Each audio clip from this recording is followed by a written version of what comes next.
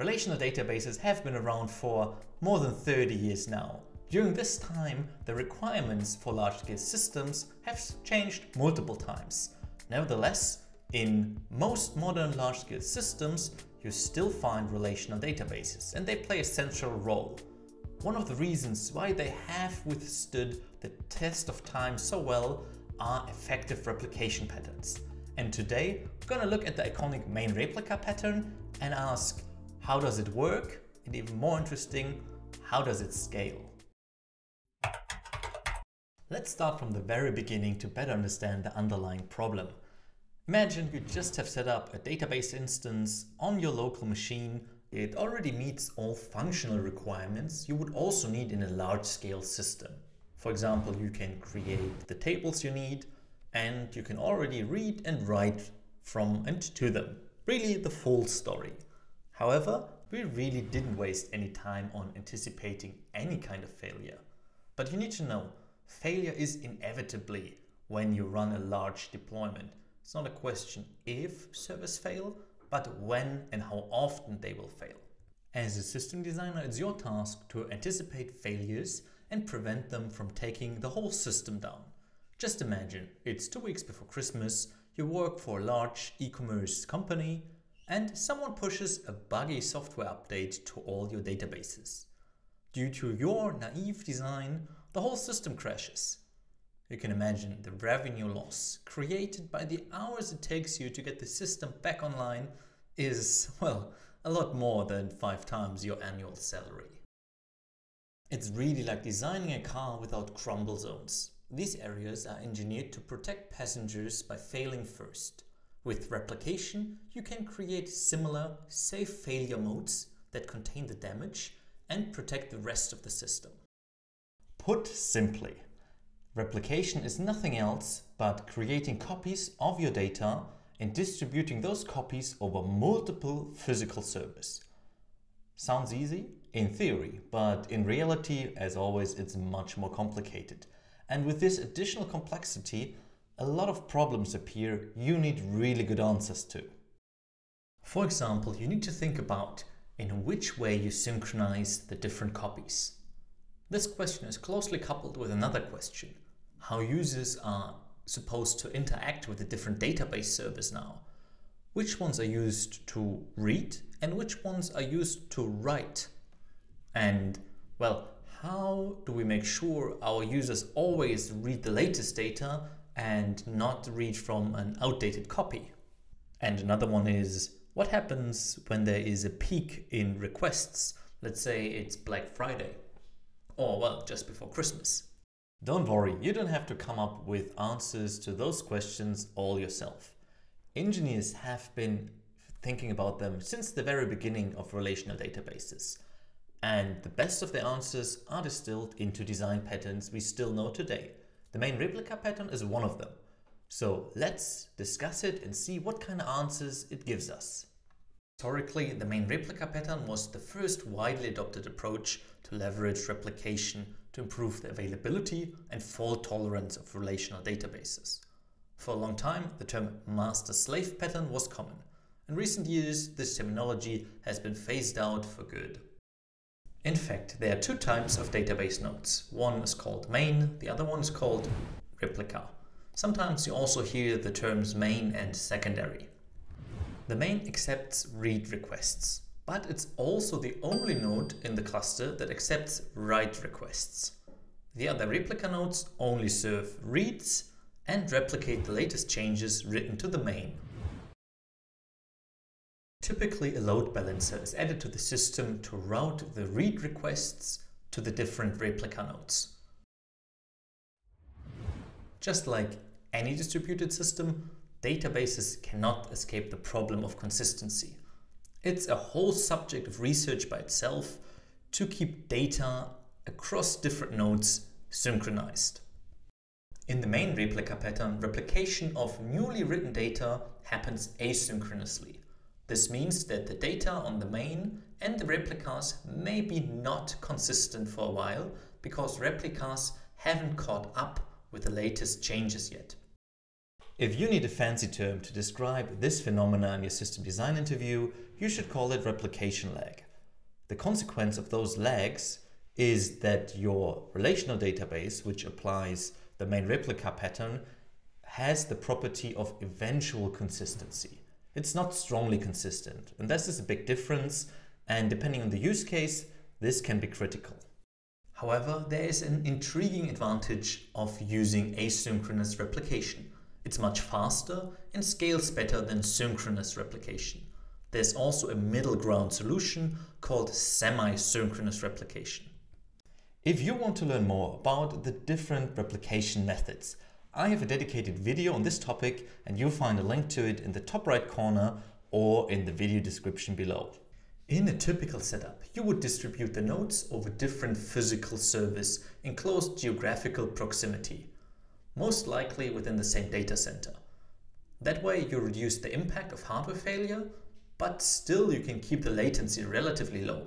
Otherwise, your design might come with a replication lag ingrained to it, even though there isn't even load on the system yet. Now, after we worked through the basics, I want to show you a couple of failure scenarios so you better understand how this replication pattern works in critical situations. Let's start with the case that a replica node crashes.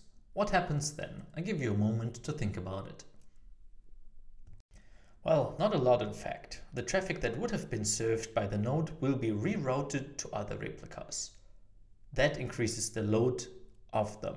The maximum read capacity gets reduced, but as long as the system isn't under full load already, the user isn't affected by this incident at all. The straightforward response is to simply spin up a new replica node to replace the faulty one. I say, oh, simply spin up a new node, but you would actually need a backup, a fairly recent one even, to do that. Because otherwise your new node doesn't know anything about the latest state of the database and would need to replay a lot of events to catch up with the main. That means it would come in with a big replication lag and would take ages till it actually could replace the faulty node which just went down. If you don't know a lot about backups, don't worry, it's on my backlog and I'm gonna do a video on that topic as well, very soon. Now we get to the most critical situation that can happen. Your one and only main node goes down due to a hardware failure. What can you do about it? Again, I give you a moment to think.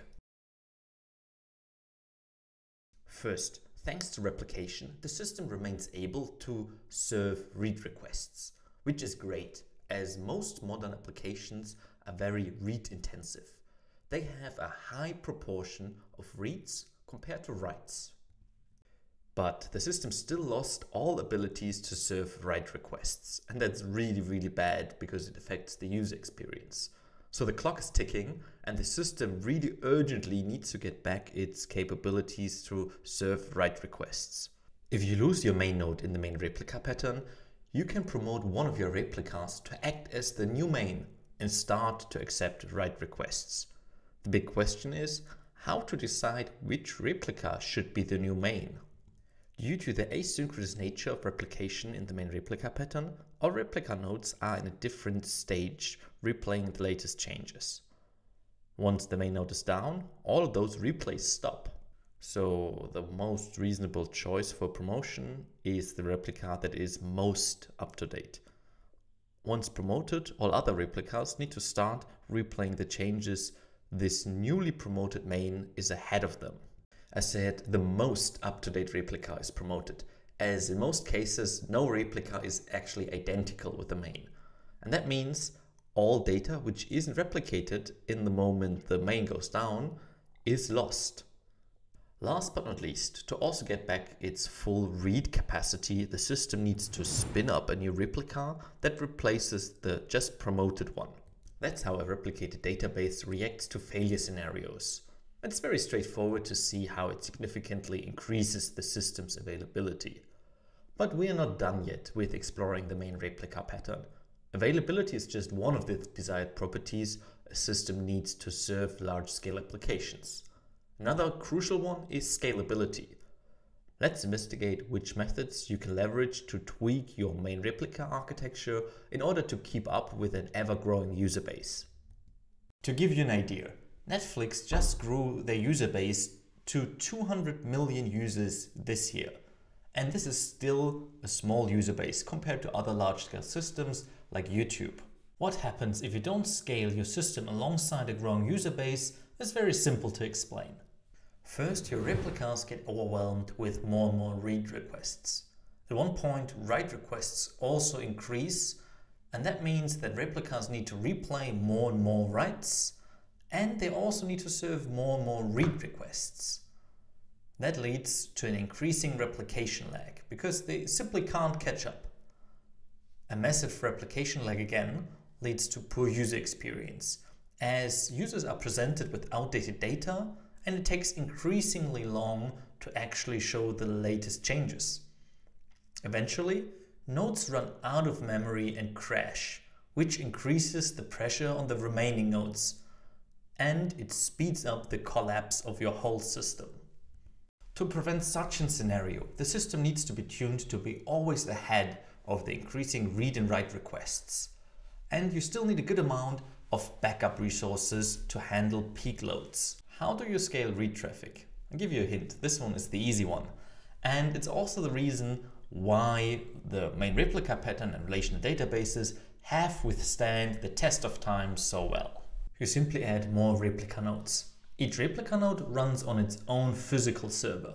The fancy term to describe this approach is horizontal scaling.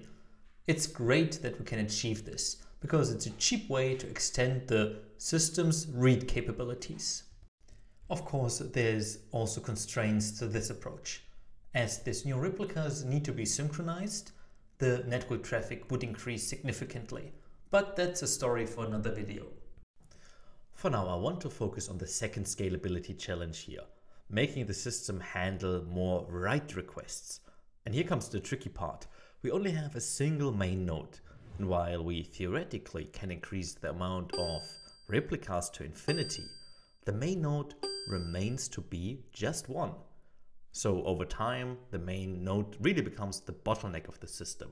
What can be done is to increase the hardware capabilities of the physical server the main node runs on. Again, here's a fancy term, it's called vertical scaling. However, this approach quickly gets to its economical limits because adding more and more memory and CPU power to a single machine eventually becomes very expensive. If you want to learn more about the different approaches to scaling, you'll find a link in the top right corner to another video of mine and again in the video description below. So there must be another way to scale write requests, but it's impossible in the main replica architecture to add a second independent main node. How would you maintain consistency over the system if you would have two nodes that accept writes? But what if we would create multiple fully independent datasets each of them with their own main and replicas. With this architecture, it's possible to scale write requests. All such requests would need to be directed to the partition that is responsible for the unique subset of data that is intended to be updated. That way all write traffic can be split up, directed to different independent main nodes. Our original bottleneck is gone. Let's look at an example. Imagine you have a single large database handling all data of a social media platform like Instagram. You have many write requests as people keep commenting and liking posts, but also posts themselves are write requests. By dedicating one database to only store comments and likes, while the other one is handling the content of posts, you can reduce the load on each of the main nodes. To describe this approach, people use all kinds of fancy terms. The most common is sharding, but there's also other names like splintering or horizontal partitioning. Each partition is also referred to as a shard. For today, there's really nothing else to do but wrapping up all the new concepts and the new fancy terms you need to speak the same language as your interviewer in your system design interview. First, database replication is a technique to increase the availability of a database by replicating and distributing the data over multiple nodes. That way, the risk of data loss and downtime due to hardware failure or human error gets reduced. A common replication pattern is the main replica approach. It creates two types of nodes, one single main node that handles write requests and replica nodes that only handle read requests. The replicas receive the latest data changes made to the main in an asynchronous fashion. And then they try to replay all changes as fast as they can.